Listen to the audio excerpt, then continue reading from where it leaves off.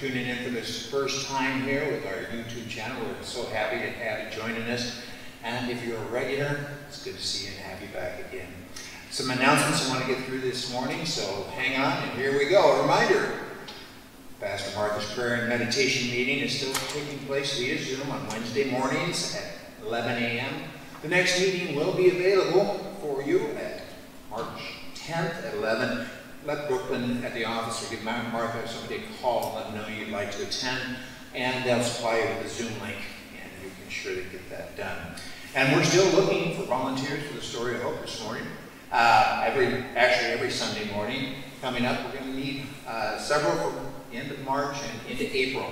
So if you'd like to attend and uh, share your story of hope, uh, we'd be happy to have you here. So we'll again, call the office.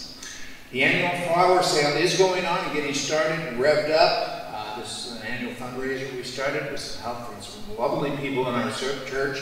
Get us going on that. Uh, Brooklyn will be sending out an email, so watch your email inbox for information on dates, uh, how to place your orders, selection of your orders, and uh, that will be available starting March 9th. And then we have a really great announcement is that we're going to start doing in-person worship again. Limited. March 14th, we're going to start, actually, we're going to start televising live uh, starting March 14th, we hope. Uh, fingers crossed, but either way, we're going to allow up to 40 people attend at one time. Now this is a trial thing we're doing, and we're going to see how it works, but it will be first come, first served. You will need to send an email to the office. I'll get you that information here again in a minute. So starting on March 8th at 6 p.m., you can email the office or call the church office number and leave a message. Four people limit per email or call. If you include in that email the number of people you're attending so we can keep count and keep track. And then no later than March 10th, you're going to get a call back from Brooklyn on that, and he will confirm that. So we're going to try this and see how it works. Um, no, it's not going to be comfortable at first, but uh, we need to keep our numbers here because of the continued pandemic and concern and keeping our social distancing. Plus, we have a lot of equipment for the recording still. So we're going to see how this works. But if you'd like to get that chance, remember, March 8th, 6 p.m., set your clocks. Uh, send in your email, reserve your spot, and uh, we'll see how it goes. So this is really exciting. Really exciting to be moving forward in this. It is a true story of hope on its own. So thanks for tuning in. Thanks for watching us, and God bless. And we'll get on to that person, Pastor Martha, excuse me. I'm going to start this morning. Thank you.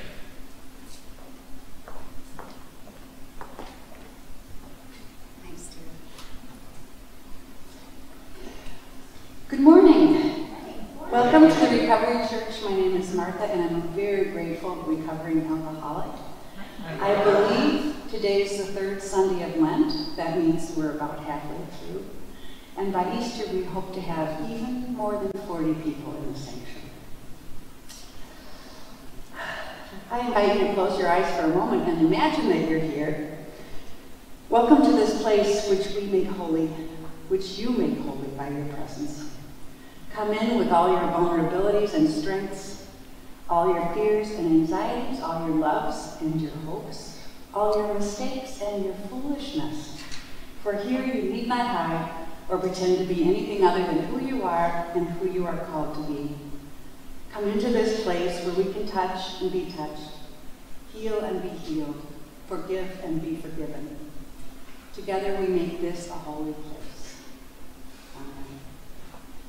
Now let us pray. God, grant me the serenity to accept the things I cannot change, the courage to change the things I can, and the wisdom to know the difference.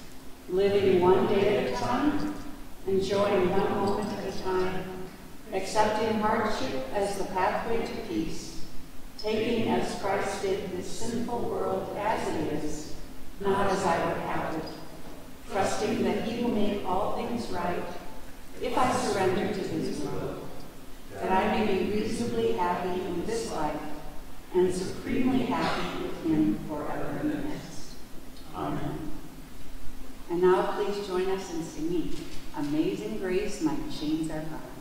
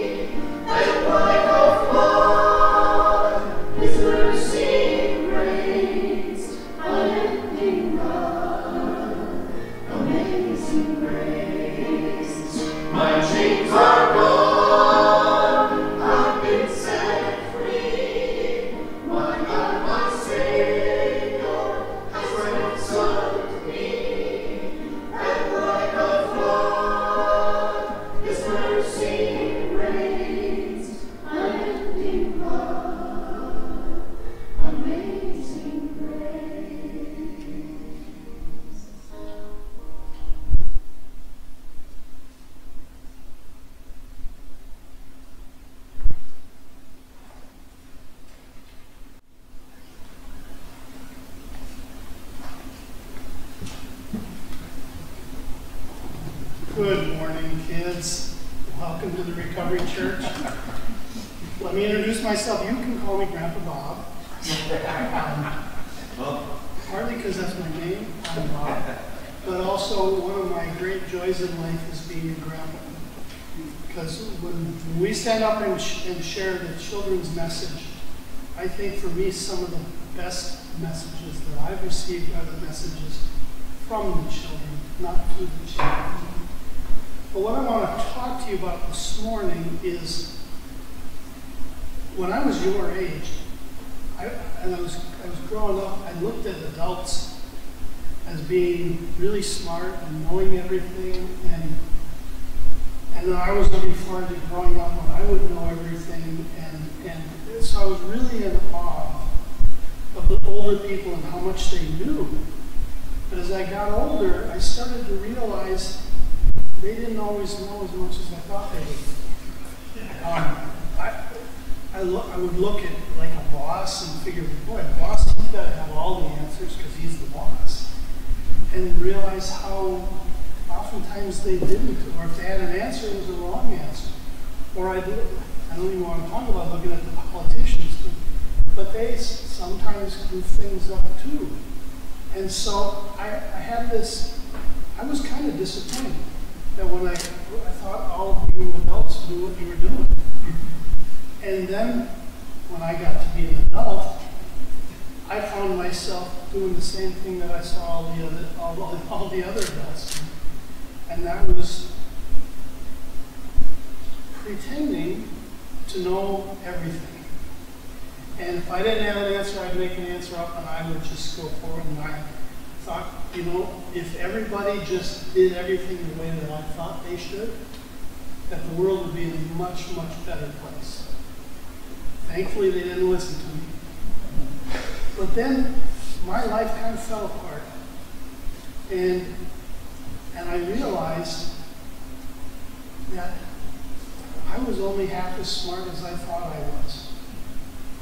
And once I realized that, I think I was really twice as smart as I ever was before. and if you can figure that out, you're a better man.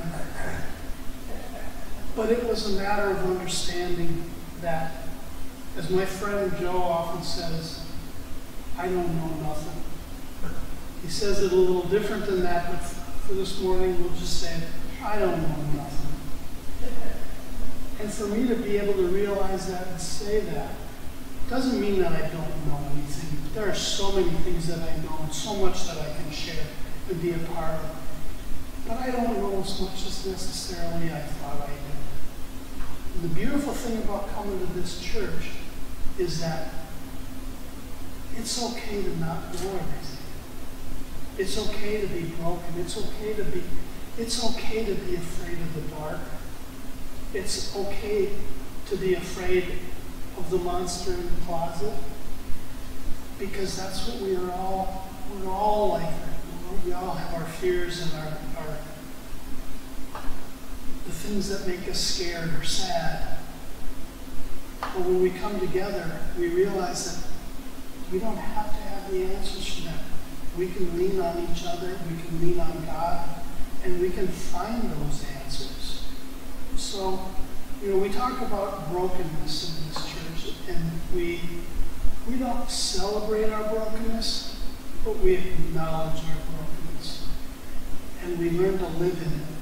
And there's another expression I learned a while ago, and, and that's, I'm not okay, and you're not okay,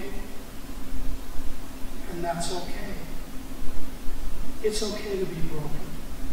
The important part of being broken for me has been to learn to admit I am a broken person and to ask for help and ask for money. So, sometimes the adults are right, sometimes they're not.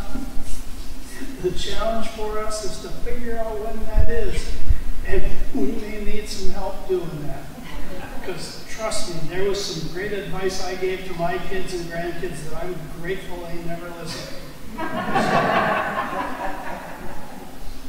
Let's say a little prayer. Dear Heavenly Spirit, Dear Heavenly Spirit, accept us in our brokenness. Accept us in our brokenness, and teach me to accept me with my brokenness. and teach me to accept me with my brokenness, And give me the strength and humility and give me the strength and humility to ask for help. to ask for help. In your name we pray. In your name we pray. Amen. Amen. Have a good day. We'll see you soon.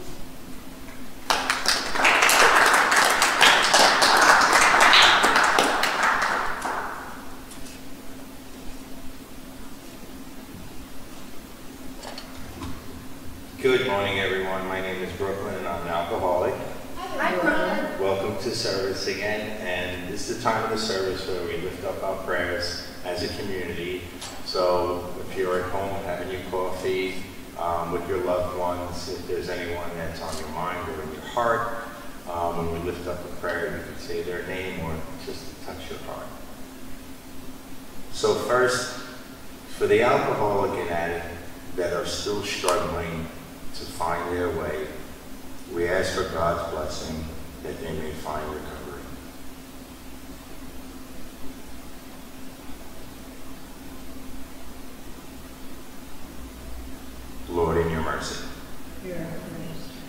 all that are ill or in pain, or that are struggling with any isolation, any anxiety, any depression, or any other mental issues.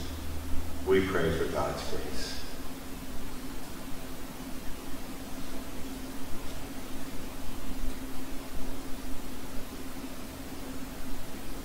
Lord, in your mercy. And for the homeless, may they find shelter and food and pray for another healthy day. We pray for God's protection.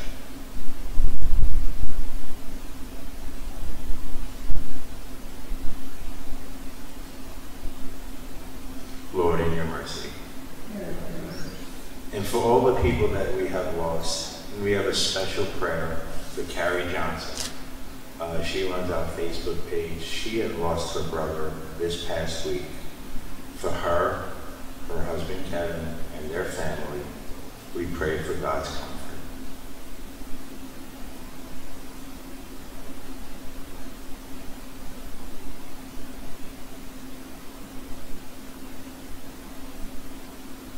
Lord, in your mercy.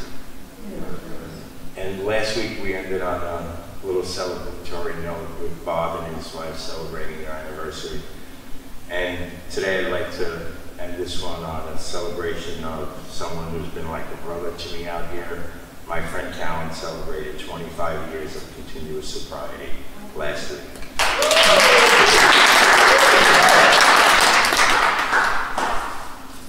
Lord, in your mercy. And now let us join in with the prayer of St. Francis. Lord, make me an instrument of your peace. Where there is hatred, let me sow love. Where there is injury, pardon.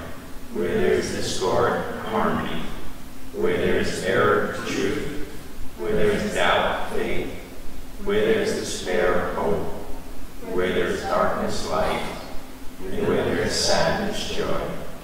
O divine Master, grant that I may not so much seek to be consoled as to console, to be understood as to understand, to be loved as to love. For it is in giving that we receive, it is in pardoning that we are pardoned, and it is in dying that we are born to eternal life. Amen. God bless you.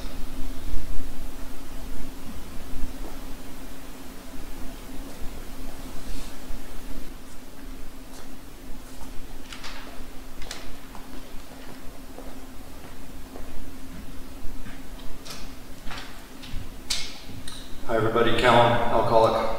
Hi, Callan. Grateful to be here, and as uh, Brooklyn just mentioned, it was Monday, this past Monday, March 1st, I celebrated 25 years of.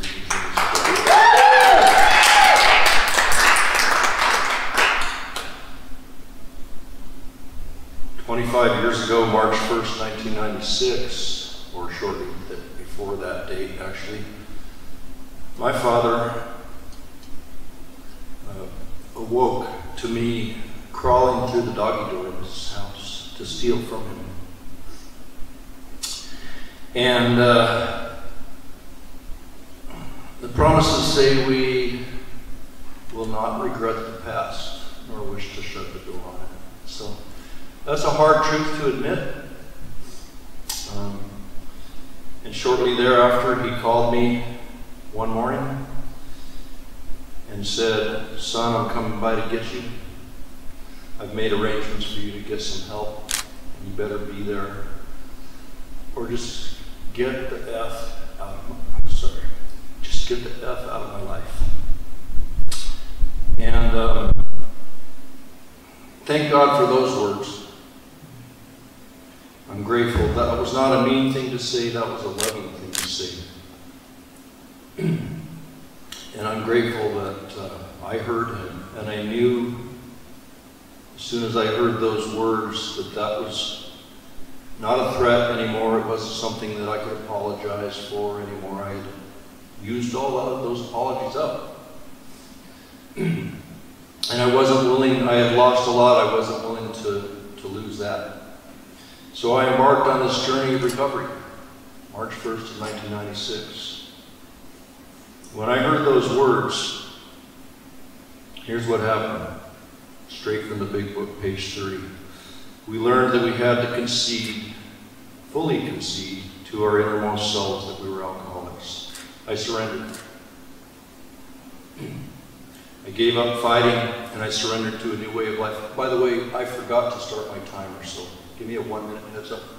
Um, and um, here's some good news. Here's something else that I learned and read. It's on the back of my medallion. I was telling Martha, it says, Rarely have we seen a person fail who has thoroughly followed our path. Rarely. That's good news. That gave me hope. It also says in there, we of Alcoholics Anonymous know thousands of men and women who were once just as helpless as Bill was. Nearly all have recovered. So I began to have hope. I began to see people dealing with problems in a new way, a way in which I was ill equipped to deal with problems, and that was a spiritual way. the big book tells me that we simply need to pick up a simple something like this. There was nothing left for us to pick up the simple kit of spiritual tools laid at our feet. I didn't have any tools. I had a sledgehammer. If it needed a Phillips screwdriver, I had a straight one. That's about all I had.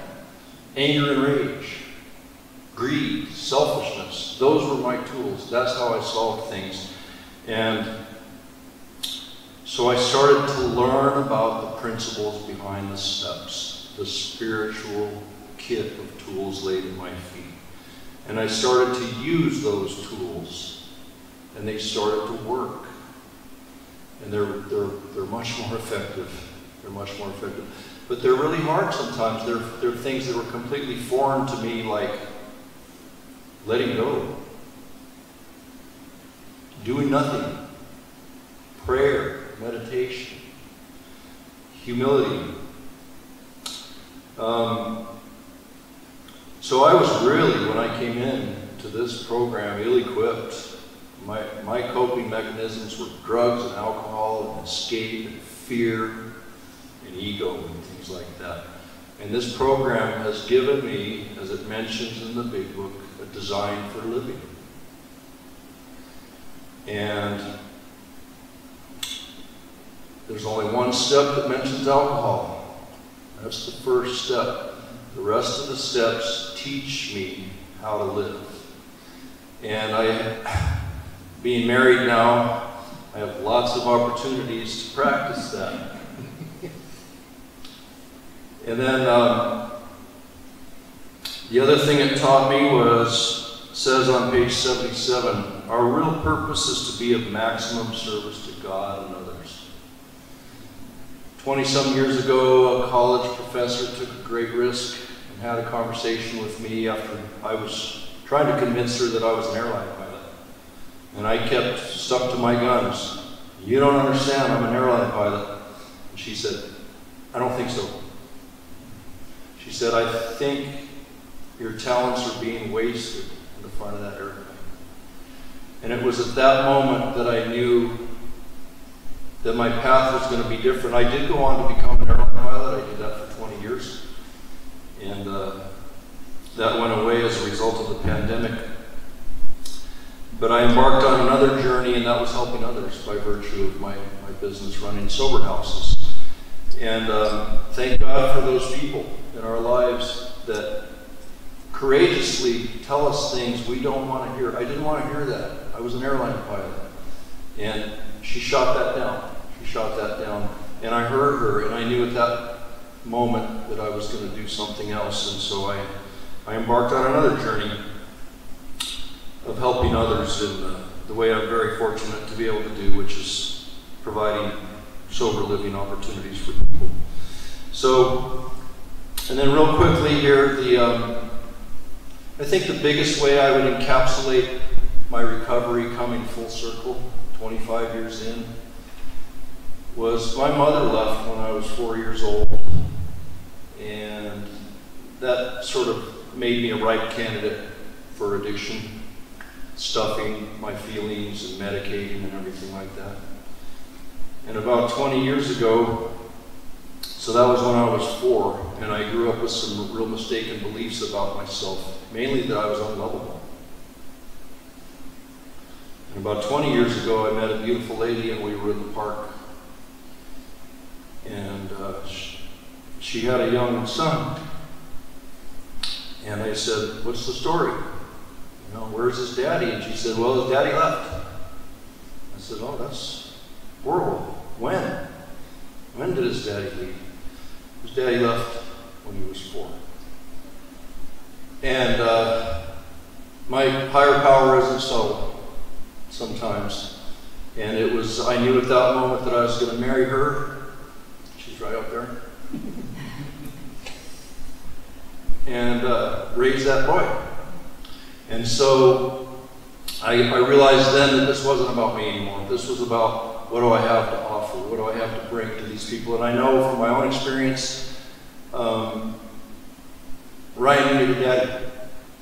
Ryan needed a daddy. And so I stepped up and get to be that guy now. I get to be that guy, not the guy crawling into the doggy door. And that feels good. And I know when I get up there, when I get called home, God's going to say, Good job. Um, well done. And so it's a lot easier to live that way than, than with all the lies and the self centeredness and all, all the other things that I've brought to the table. So grateful to be here. Very grateful to my higher power, to two guys named Bill W. and Dr. Bob laid this program out for me, and grateful to all the other people that I've come across along the way that have showed me a new way to live. And with that.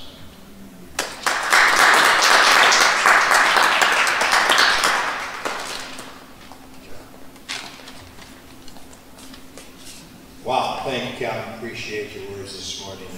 What words of hope those are.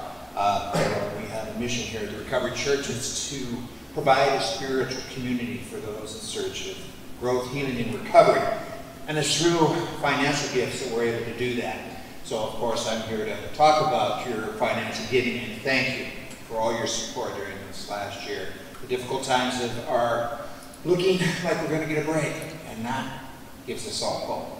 So thank you for your gifts, and we would like to thank you for your continued gifts and continued giving in two ways. One, you can send a check to 253 State Street here in St. Paul, Minnesota, 55107, or you can go to our website. Click on the red heart, go in, it'll take you to our secure website portion of the website, and you can uh, donate there one time, or you can set up a regular. So if you're new to giving, uh, just ask a few easy questions, and then uh, if you want to set up for coming out monthly, as I do, I find it very convenient, uh, you can also do that. So thank you again for your gifts. It keeps our mission going, it's kept it going, and uh, we're going to give you a little music while you contemplate your giving. Thank you.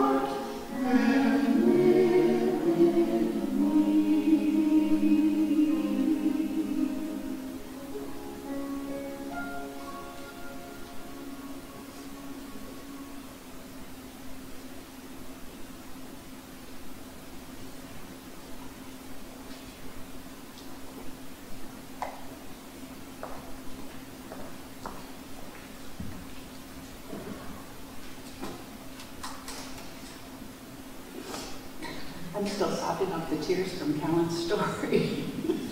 thank you, and thank you, Bob, for sharing that. Our scripture lesson this morning comes from one of Paul's letters to the church at Corinth. For the message about the cross is foolishness to those who are perishing, but to us who are being saved, it is the power of God. For it is written, I will destroy the wisdom of the wise, and the discernment of the discerning I will thwart. Where is the one who is wise? Where is the scribe? Where is the debater of this age? Has not God made foolish the wisdom of the world? For since in the wisdom of God, the world did not know God through wisdom, God decided through the foolishness of our proclamation to save those who believe. For Jews demand signs, and Greeks desire wisdom. But we proclaim Christ crucified, a stumbling block to Jews and foolishness to the Gentiles. But to those who are called, both Jews and Gentiles, Christ the power of God and the wisdom of God. For God's foolishness is wiser than human wisdom, and God's weakness is stronger than human strength. It's kind of like Bob saying he was half as smart as he thought he was, and then that made him twice as smart. Have you ever noticed that just when you think you have it all figured out, God seems to turn everything upside down on his head? Maybe you've heard the saying that if you want to make God laugh, just make plans. We really shouldn't be surprised. Scripture tells us again and again that God loves a good paradox. And that God's wisdom is foolish, or may seem that way to us when we first hear it. And really, who wants to look foolish? It's not usually our goal. I'm going to tell you a story because we may need a little bit of humor during Lent. I was once a part, I met with a group of women who requested a Bible study for 6.30 on Friday mornings. You'll know why this is humorous to me. And I was supposed to lead it, I was the minister. Can you believe it?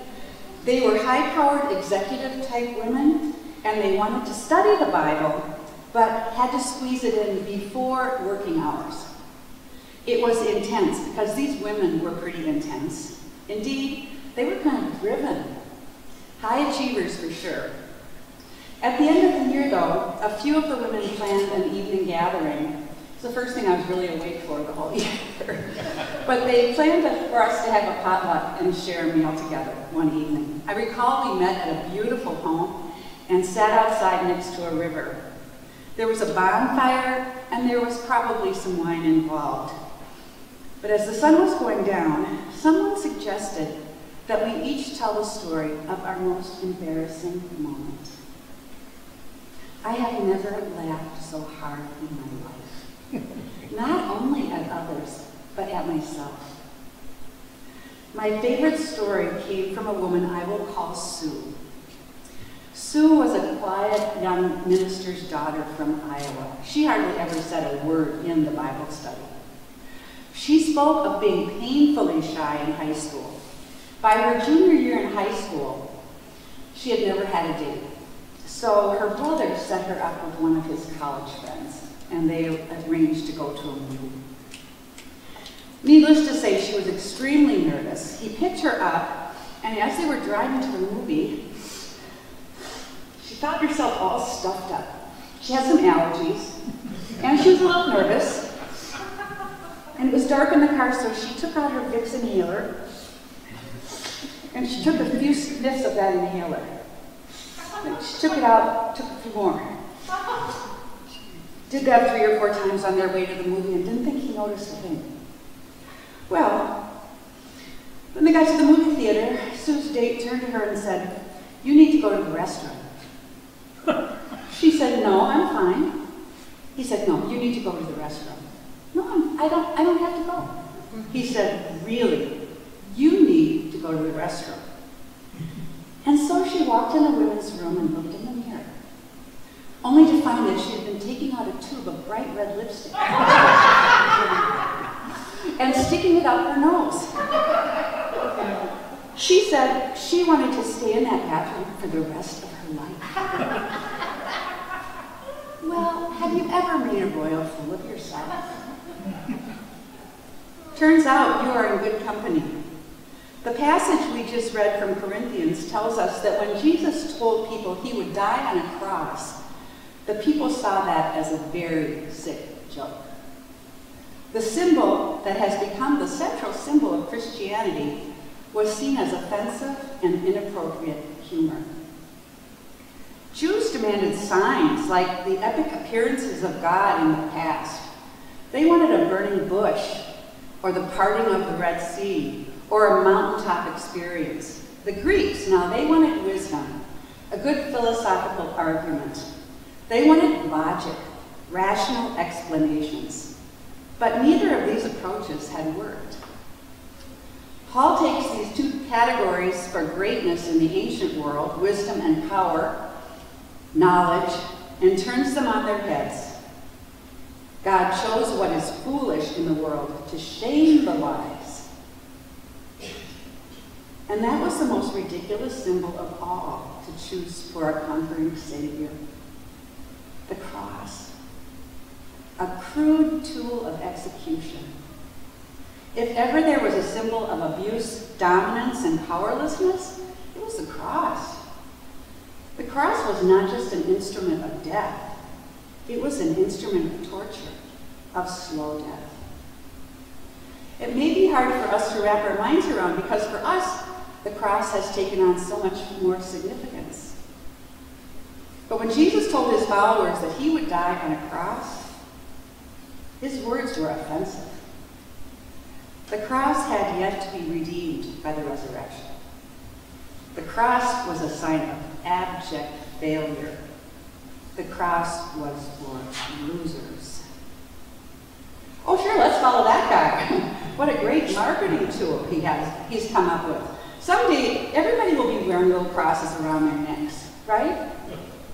Well, but therein lies the paradox.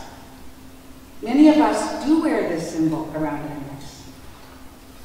Let's go back to that lovely evening and the women at the river. Let's remember Sue's story.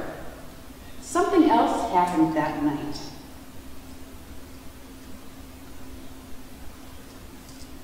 After Sue had told her story. This had been her biggest embarrassment growing up. Do any of us have a junior high or high school story that we've just never told anyone? She still felt shame when she thought about it, and she had never told this story to anyone. Something happened when she told it, and we all laughed. Not at her, but with her. And she began to laugh too. That's what happens when we share our weakness and vulnerability with others. We all make mistakes, and we can all relate to them. Through Jesus, God is telling us that it is precisely through our brokenness and weakness that God will find that entryway into our lives. Think about recovery meetings where people sit around and tell stories they never would have imagined speaking aloud, or even when they come here to share a story of hope. And they might not tell in other group settings. And of the laughter, Others smile or laugh with recognition and acceptance. Oh, yeah, been there too. These stories help us surrender our need to be in control and to look good, our need to figure it all out, our need to be God. They land us in the lap of one. Recently, I heard a woman at a meeting say something that I have heard many times before, and you've probably heard it too. She said, I used to hate it when people said, I am a grateful recovering alcoholic. She said, I vowed I would never say that. I would never say I would, be, I would never say that I was grateful to be an alcoholic. But here I am, she said, after nine years, and I'm saying it. I see now that the thing that almost killed me, the thing I hated most in my life, is the thing that has saved me. The cross that hangs in our sanctuary over there is a perfect reminder of this paradox. John Kuntz, in crafting it, took broken alcohol bottles and turned them into a cross. A reminder that God can take our very instruments of death and destruction and turn them into a whole new life. This is our Lenten journey. We are moving toward the cross. If there are things that are killing you, bring them to the communion table. Lay them at the foot of the cross. Let go of them and let's see what God can do with them. For God's foolishness is wiser than human wisdom, and God's weakness is stronger than human strength. Thanks be to God. Amen.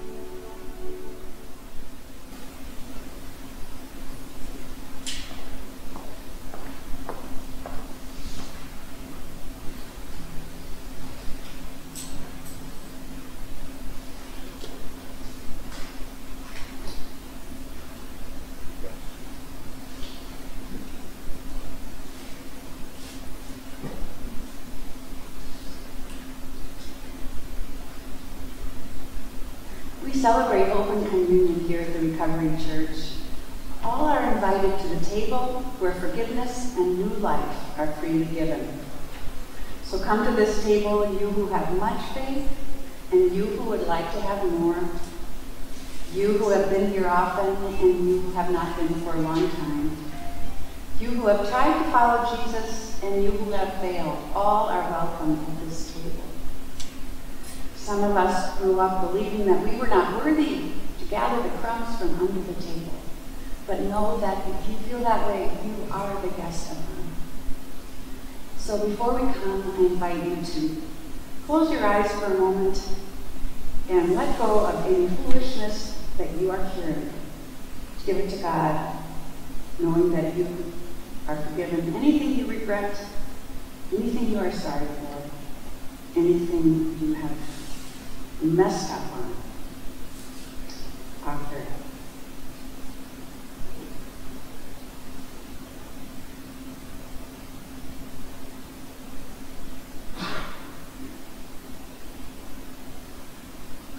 There is nothing so terrible that God's love cannot forgive it.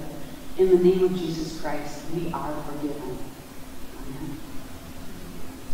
Blessed is our brother Jesus who walks uh, with us on the road of the world's suffering and who is known to us in the breaking of the bread. On the night of his arrest, Jesus met with his imperfect friends, took the bread, blessed it, and gave it to them, saying, This is my body given for you, my life broken open for you. Take and eat this and remember me.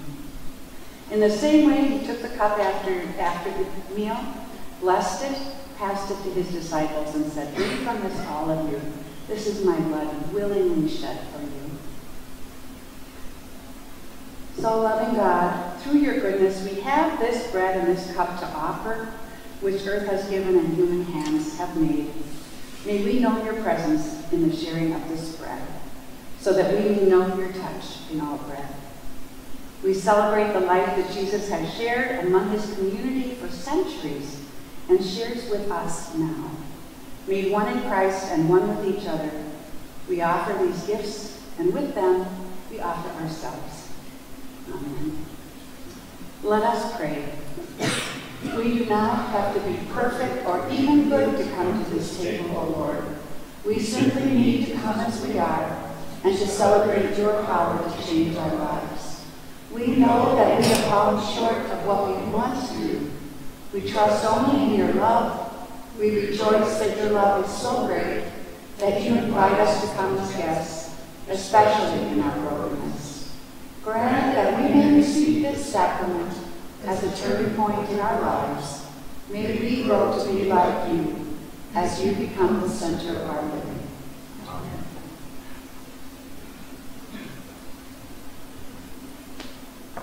Amen.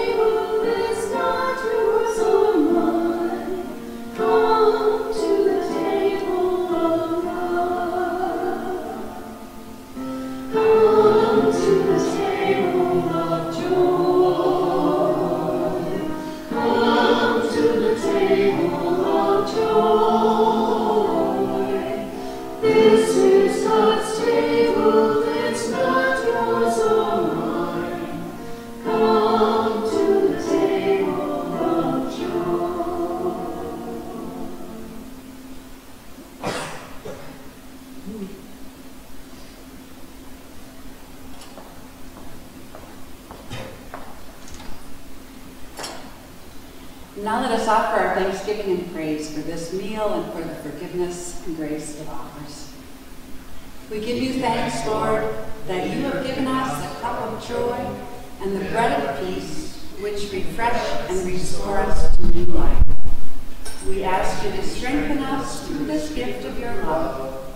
Help us to accept one another and to not judge people who are not like us.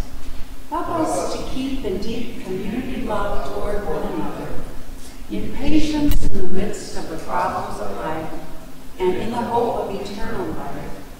Through Jesus Christ, your Son, our Lord, who lives in our lives, and with you through the Holy Spirit, one God, world without end. Amen. And now let us join hands and hearts and close with the Lord's Prayer. Our Father, who art in heaven, hallowed be thy name. Thy kingdom come, thy will be done, on earth as it is in heaven.